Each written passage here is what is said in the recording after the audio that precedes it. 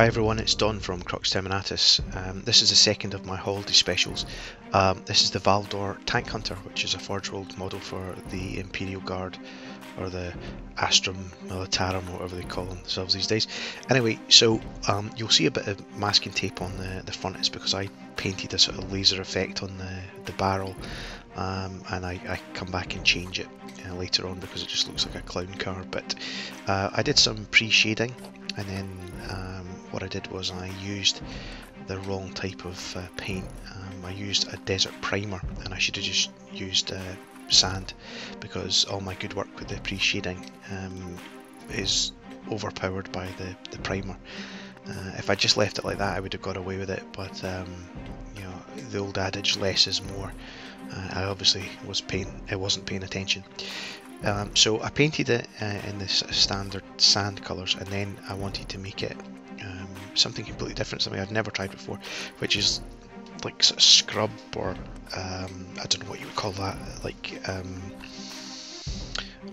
not quite desert, but um, savannah maybe. I don't know. Uh, I don't know. Um, but I've seen camouflage like this on sort of various Forge World books and Imperial Armour books, and I thought, do you know what, we'll give it a bash. Um, so I covered it in um, gloss varnish and then added uh, some decals, but uh, I'm, I'm running very low on decals because I only ever had two Baneblade sheets and I think I've squeezed just about as much as I can get out of them now. Um, again, th this one is actually a, a really tricky model and that shield at the back that I'm doing the oil wash on right now, it was very difficult to get to, to sit in the right place and took a lot of bending backwards and forwards in hot water to uh, to make it sit properly. Um, these generators off the side, I just painted them sort of like power purple, I, I don't know, plasma or whatever. Uh, just painted them that way. Um, the coils on the main barrel I painted them um, blue.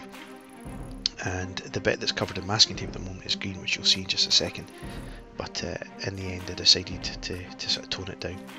I used the track wash uh, again on the tracks thought it was pretty pretty good. And then I used um, sand dust or light dust. Um, I think that's a, an AK one that one uh, just to, to give it a, a sandy appearance there, well, there you go. There's the, the laser, and maybe in a different camouflage it would have looked better, but uh, all those colours together were just you too much. Why would you bother um, camouflaging a tank that like, stood out like a sore thumb? So there you go. There's my pride on the shelf as I paint over that bit green. Um, I paint it back to the desert camouflage uh, scheme and um, finish it off. Added a crewman uh, with this big stubber which I always think looks like a Bren gun and then um, this is me putting it on the turntable. Used uh, some, some of the sand colour to basically do some sort of chips and dings maybe and maybe you can't see very many of them here um,